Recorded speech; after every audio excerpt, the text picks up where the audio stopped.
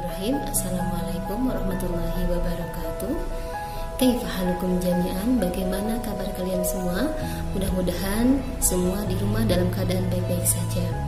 Oke sebelum mulai pelajaran Jangan lupa untuk mengisi absensi Yang sudah atau list atau eh, daftar hadir yang sudah Ustazah share di kelas online.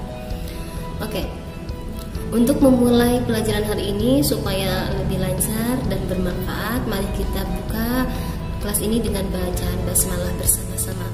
Bismillahirrahmanirrahim.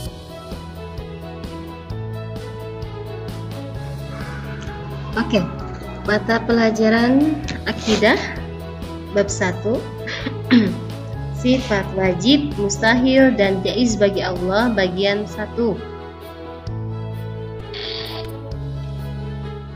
Tujuan pembelajaran hari ini dengan mempelajari bab 1 bagian 1 tentang sifat wajib, mustahil, dan jaiz bagi Allah, siswa dapat membaca, menerjemahkan, dan menazumkannya. Oke, kemudian langsung diterjemahkan ya.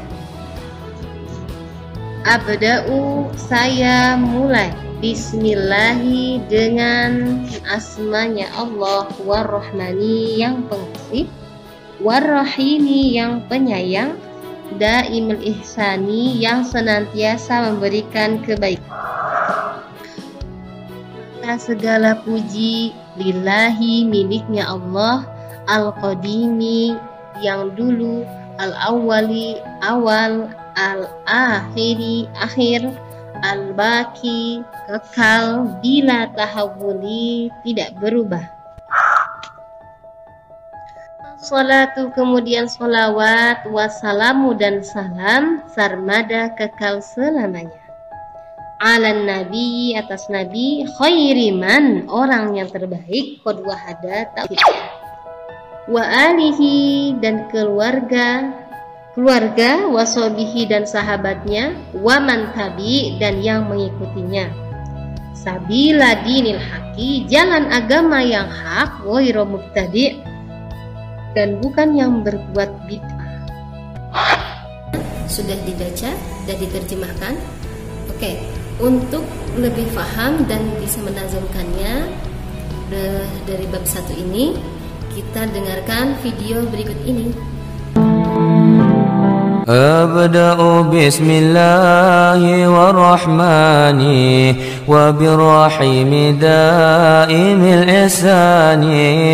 فالحمد لله القادم الأول الآخر الباقي بلا تحول ثم صلاة وسلام سرمدا على النبي خير وآله وصحبه ومن تبع سبيل دين الحق غير مبتدئ Bagaimana? Sudah dibaca, kemudian diterjemahkan dan dinazumkan. Um, mudah-mudahan kalian semua bisa menghafalkannya. Dan untuk evaluasi pertemuan kali ini, silahkan hafalkan bait yang sudah kita pelajari tadi, dibaca berulang-ulang, diterjemahkan, kemudian dinazumkan dan dinazumkan berulang kali. Mudah-mudahan kalian harus bisa hafal.